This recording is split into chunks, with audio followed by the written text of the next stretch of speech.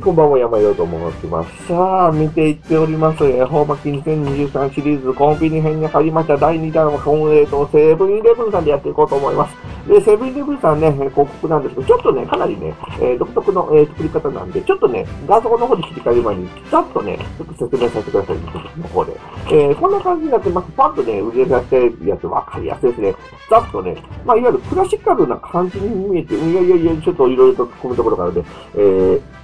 ど、どこだ銀座久兵衛さんと、え、なんと、タッグを組んだっていうね、かなり高級そうなやつがね、ボーンと出てますよ。うまあそうなやつをボーンとじゃ面出してきてるなっていうのがあるんですけど、反対側めくってみると、こんな感じになっております。恵方巻きって、これで書きやすさんですね。あの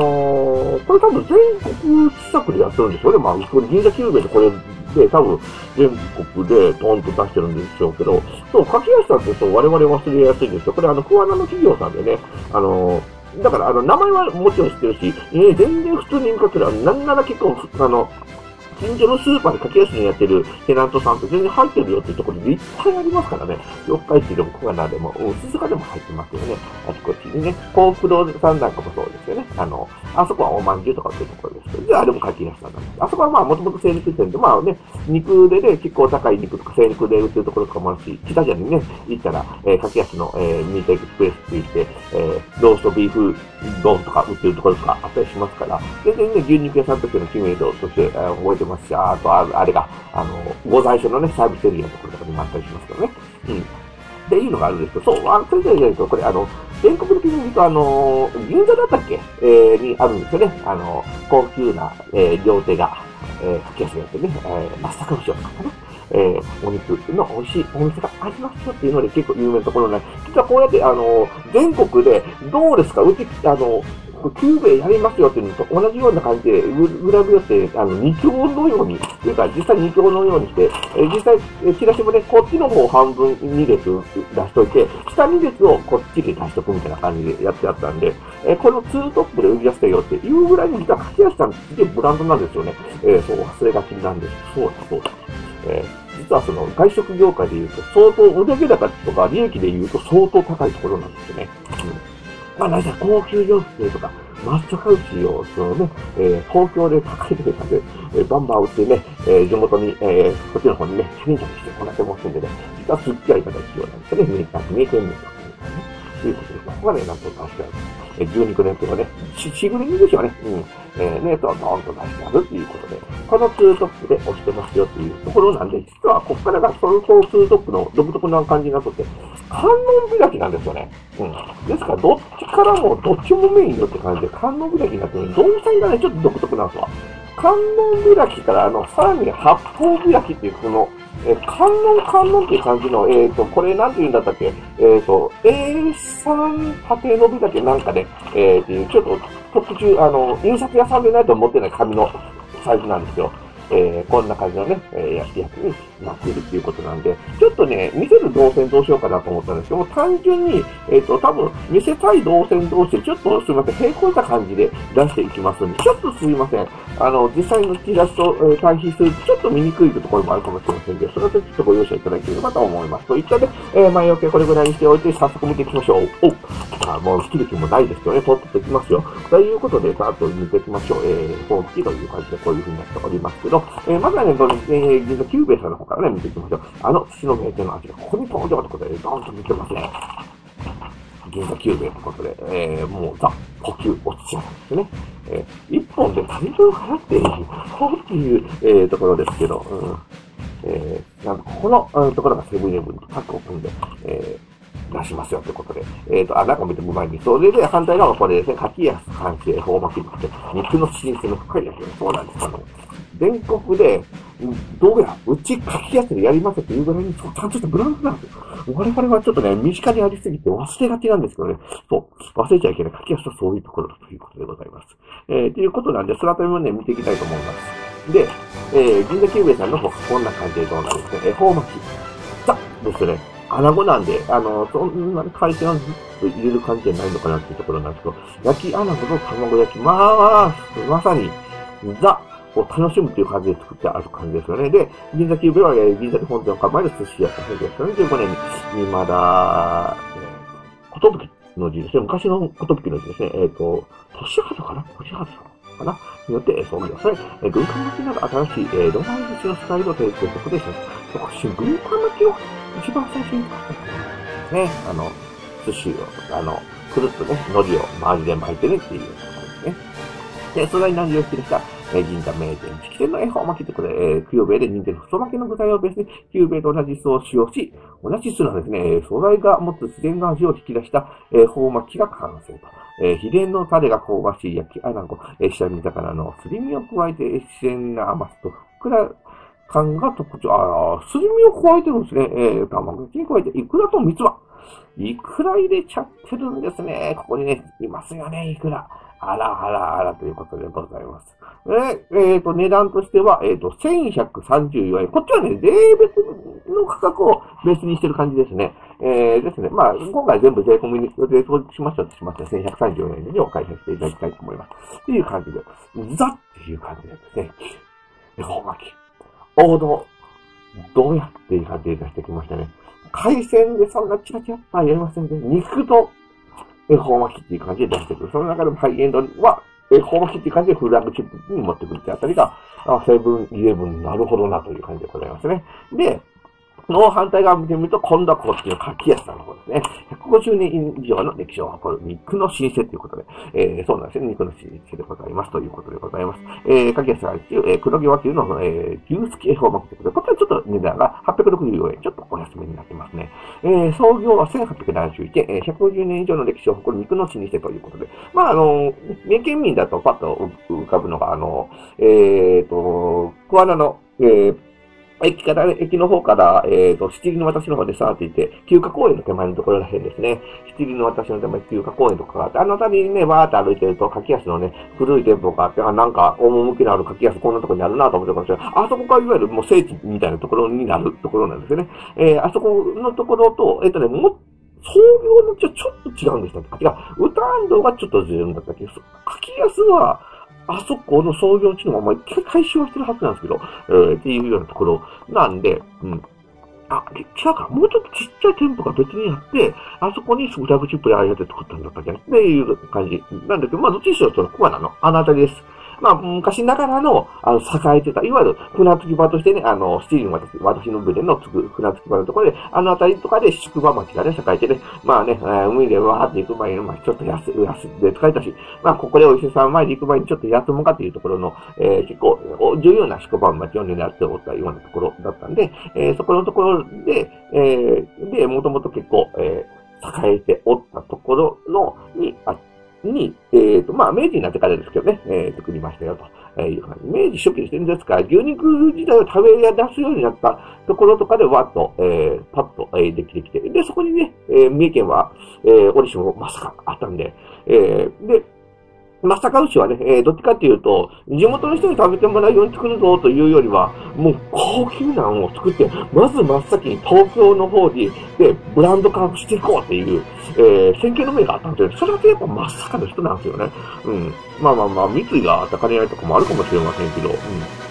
で、えー、いうので、よし、ということで、えっ、ー、と、当時はね、あの、今みたいに物理技術がね、どうしたかっていうと、あの、牛を引き連れて東京まで歩いてたらしいですね。で、えー、いうような、えー、歴史があるんですね、最初の頃はね。うん。牛さんを連れて、えー、ヤッホーだって、歩いて、えー、東京まで頑張って持ってってね。で、えー、東京のところで、えー、整理して、うん。で、あの、どうですか？いや、こんな牛肉あるんですよ。まさかで作ってる牛肉こんなに美味しいんですよって最初に銀座とかでわーってやったの、ところの橋のところなんですよね。うん、っていうような流れだったと思います。うん。で、いうような流れなんで、そういう流れやって、まあ今回は、えー、まさか牛じゃないんですけど、えー、牛肉に関しては非常に、えー、名の知れた。で、それはね、東京でも知名度が高い、あの東京での方がむしろなんか高級感を持って、あの、持たれているのはそういうような流れですね。まあ、まさか牛のまさに歴史と非常に深い関わりがあるようなことですよ。ということですね。ある意味そのブランディングに寄与してるっていうことですよね。えー、っていうことです。ですから、あの、全国的にね、高級肉といえば、まさか牛っていう、えー、石エビまさか牛って、あの、三重県の名前をね、ポンと持ってたところの一角になっているところですからね。まあ、普通ので、あの、銀座とかだと多分本当に、え、コース行ったら日本産品とか行くでしょ？まず、竹やくつ、銀座とかそっちの方のね、えー、あのところにいたら、もう、両手みたいな感じの、えー、ところで扱えるところなんでね、そうそうそう。あの、うちらがね、あのご最初のところで、お、柿安にやっぱ牛丼高えなって言いながら1500円で食べてますけどね、丸一つ違う感覚ですからね、っていうところでね、頭に入れておいてみてほしいと思います。えーとですね。肉のプロである柿安。えー、大丈夫のメキキャラさんが非常に油と、えー、肉本来の旨味が楽しめる黒毛和牛厳選とですね。筋肉の薄さを切らす秘訣として、えー、重要視する柿安伝統タレそのまま使用することで肉の味わいをかみ、うん、仕上がりますというふうになってますけど、黒毛和牛の好きってなってるんで、うん。どこなのかな？えー、多分ね、ぶつけると860円でこの料理やってきてるんですよ。多分、多分、柿安さんってドーンと出してありますけど、どうなんだろうな、国産なのかなあーっていうの、あでも、まあ、今だと、結構かかるし、あでも、どうなんだろう、王子ってプログラムあるんですよね。今、えっと、おえっと、王子でもあるか。えー、っと、アメリカなんかでもやったらかける。うん黒毛和牛のね、あの、えー、タレを持ってっていいのかな、うんで、えー、もう向こうの方でね、えー、育成とか生産、育成ね、全部やっちゃってっていうことも今できるんで、別に黒毛和牛自体は、あ、そうです。あの、国産ってなってないんで、多分、外国産じゃないかなと思うんですけど、多分国産だったら国産っていると思うんですよね。うん。あの、そのあたりとか、あの、全然、あの、その、どうやったらブランディングとしてあれなのかっていうのもね、あの、分かってるところですかね。うん。和牛イコールこ、あの、国内産ではないですからね。っていうところとかもちょっと見とるんですけど、こそこはまあ大した大きな違いじゃなくて、まあ結局味としてはまあ美味しいもの出せるし、まあ多分安定収益でやろうと思ったら結局その、国産肉だと何がいいのかって言ったら、結局冷凍しないとか、そのあたりとかが味の面で言うとね、うん、まあもちろんその、あの、安全基準とか管理基準とかそういうところの話になってきたらもう全然、あの、またちょっと難しいフェーズになっちゃうんで、このところちょっともう置いときますけど、今回は。うん。っていうところとか踏まえていくと、うん。えーと、黒毛和牛、えー、そうですね、えー、まあ多分、結構一旦冷凍するんだったら、そこまで変わらんと思うんですよね。多分半年狂気するのに冷凍商材でないと無理なのは無理なんで、そんなチーズ商材ってのは絶対無理ですから、あの、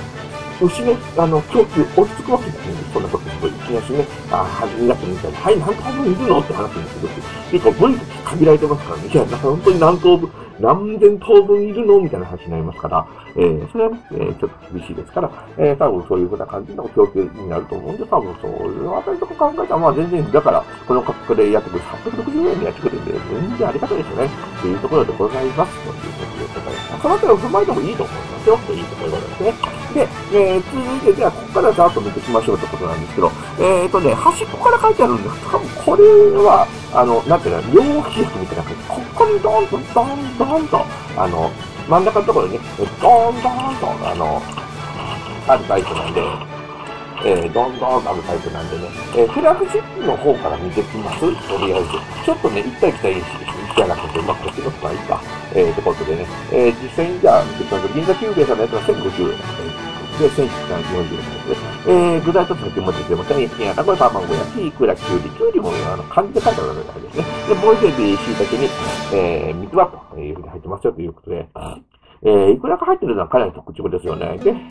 えー、エビも入ってんだ。なるほどな。いくらエビ入ってんだ。どうなんだろう海鮮感強くなるのかなうん。うわ、どうなんだろうな。まあまあ、食べたことのない、えー、えー、領域ではありますね。イクラはね、多分ね、結局プチッと潰れて、全体に染み渡る感じなんで、うーん、多分、すごい、あの、濃厚さを出す出すっていう、えー、フレグランスになってくると思うんですけど、エビがどうなんでしょうね。エビ、アナゴ、まあ確かに相性悪くないですからね。うん、っていうあたりとかも、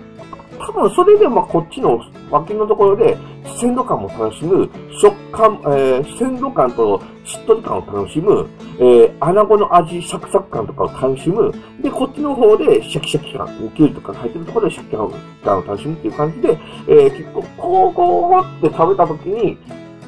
最終の味わいをしながら、こう、味わえるような、えー、コンセプトにしてある、えー、味のグラデーションをつけるというような、えー、ところとかになっているのかなという感じがしますね。で、レギュラーサイズってなってるんですこちらの方が、えー、直径4.5センチの13センチとなっております。そう、こっちの、えっ、ー、と、実は柿安さんの方は、えっ、ー、と、ね、横で見た方がいいかな。えー、柿安さんのやつは、えー、800円で、これ4.5センチ、8.5センチということで、かなりちょっと、えー、小さめのミニサイズになっております。ここもね、えー、でですね、ちょっと、まあ、後でまあ、見てみましょうか。この辺りもね、ちょっとサイズのところは、え、重要になってきます。で、まあまあまあ、でも、どっちにお肉ですね、逆にこんだけぎっしり入ってみると、これぐらいの方がいいかもしれませんよね。えー、ということですね。で、えー、あとは、えー、っと、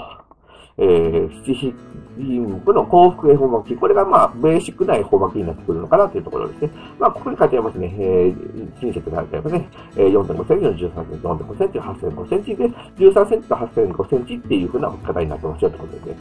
これ、ああ、なるほどな。あでね、えー、パッと見たら、ああ、なるほどな。8.5センチ、あ、意外とちょっとちっちゃいなって感じがします。多分あの、スーパーとかで、あ、そう、コンビニの、あの、おにぎりコーナーの下で売ってるお寿司コーナーとかで、えー、見かけるやつの、ああの、ちょっと太いやつ売ってるじゃないですか。あれくらいのやつ感じると思います。で、そこのところで8.5センチ。多分もう機械がそのサイズなんでしょうね。えー、ってことだと思います。で、視聴グレまず460円、320円から、ミニサイズセットは320円からありますよっていうことで、で3本セットもありますよってこと。かかなりバラエティ感を出してるんでっていうところでございますね。まあでも、まあ、わかりやすく、うん。お手頃なのもありますけど、いやー、こっち買いましょうこっち買いましょうっていうのは、かなり見えますよね。っていうところですね。で、あとはバラエティのところで言うと、海の幸、恵方巻きって言って、これも、いくらいでできてるんですね。で、エビとツナのサラダ恵方巻きってのがあって、これが、えー、いわゆる、えー、最安値になってます。この後も全部ミニサイズ8.5センチで添えてるっていうのも、やっぱコンビニはだいぶ、若い人、そこまで食べない人、女性の人とか、えー、ね、あとは、お年を召した方とかね、うん。も意識してるのかなっていうところですね。いやー、っていう感じですね。えー、で、こちらの海鮮かなりいっぱい入っておって、まあ、サーモンからのイクラ、えー、で、えー、サーモン、イクラ、あてき卵が入ってて、イクラ、キュウリ、えビ、えー、マグロたたきが入っておって、オーバーってことで、うん。まあまあ、マグロ感も楽しめるし、まあ、漬けとサーモンの、えー、感じをしっかりと楽しめる感じで、えー、バラエティーって感じかなというところですね。なるほどなというところですね。で、えー、あとは、えっ、ー、と、エビとツナのサラダフォーマック。これはまあ、えー、かなり、あの、コスパ重視になってるかな。えっ、ー、と、エビマヨに、えー、厚焼き卵に、カニツママヨ。もう、カニツママヨとエビマヨですからね。ただね、あのね、案外、あの、わかりやすく、あの、そんなに喧嘩しないように作ってあるし、食感もキュウリとかでちゃんと補ってるんで、多分、あの、意外とちゃんと美味しいと思います。うん。えー、だってこのぐちゃぐちゃ、いろいろ混ぜるよりはもうマヨネーズ系の味なんで、あの、ね、あのー、地球をシンプルに、あの、うめえなって食えるように作ってあるなっていうのはさすがだなと思います。380円入ってる。ただ、多分、こっちよりはこっち行きたいかなっていうのがめっちゃ見えますよね。で、えー、すごいのは、えっ、ー、と、ここはすごいのはね、えー、っと、この中に七付きとかね、いろいろ揚げ鶏とか入ってきます。この辺ももう一緒にどうですかって感じでね、売ってるあたりはなかなかあれですけど、えー、金レジとか、茶碗蒸しもあるんですね、っていうところなんですけどね。まあ、お寿司ですからね、っていうところなんですけど、えー、ここにね、シェット加賀屋の、えー、鍋とか入れていきたいからね。この一人前の、要は、古食鍋用に作ってある感じなのかな、えー、っていうのと、えー、シェットね、あの、牛すき鍋入れてきてるんですね。かけやす感じ。えー、ちょっとそういうとこもね、うん。えー、なかなか、えー、がっつりやってくるので、えー、下のところに、えー、セブンロールもありますよ。えー、クッキーサンドとか、これあたりも一応、あれなのかなあの、応仁のやつとかに、金棒、あ、金棒か、これね。えー、えー、金棒、金棒はダメだ。なんか、危ない方の棒になっちまうわ。うん。えー、えー、金棒ですね。はい。えー、ミニマネーライフル3個入りとか、えー、あとは、あん巻き、あんもち巻いちゃいました。これ、藤田屋やん 藤田屋やんって思いますけど、あ、でも、あ、藤田屋餅、あ、あ、餅ってあったっけ？あれ？あ、それこそあのー、あそこで売ってんだ。柿安の横で売ってんだよな。あの、エクスプレスの、えっ、ー、と、えー、エクスパー作大所か。うん。あそこの、えー、ちょうど柿安さんの横で打ってますよね。えー、かつの富士、えー、よかね、これは気流が。いうのをね、えー、富士電さんのやつ使ってますけど、これはどうなんだ？これは単純に多分そういうような感じのやつがあるんですね。なるほどね。あっちの方が全国進出してくるんですね。なるほど。なんだこへんも持ってばいいのになんと思いますけど、えー、ということで見てきましたけど、えー、ここのところ面白いね。こんな感じで、ようやく申し込み書はこんな感じ。もうね、あ実はちゃんとミシン目が入れてあってね、そのあたりとか芸が細かいね、さすがセブンイレブンかって感じですけど、まあ、ピーってね、簡単に聞い取れるようにしてあって、もう名前とかこう書いてもらっておいたら大丈夫ですよってことで、自身で書いてもらったら、あ、ここですね、お客様からもレシートだけですよってことでね、えー、もうここで PPP と読み込んで、こっちの方預かって、それの写しがピューと出てくるんで、レシートも確認してもらって、はい、OK っていう風にしてあるっていう感じですね。で、えー、恵方巻きとしては、えっ、ー、と、品目としては7アイテム。で、えー、セットが1アイテム。そうですね、3本のセットの1アイテムっていう風にしてありますっていう感じでね、3本以上に。この辺も多分もう3人家族とかそういうのを想定して作ってあるんだろうな、というのはちょっと見て取れますね、ということでございます。えー、というようなところでございますけど、これをね、改めてね、ここからなんですよ。ここあの、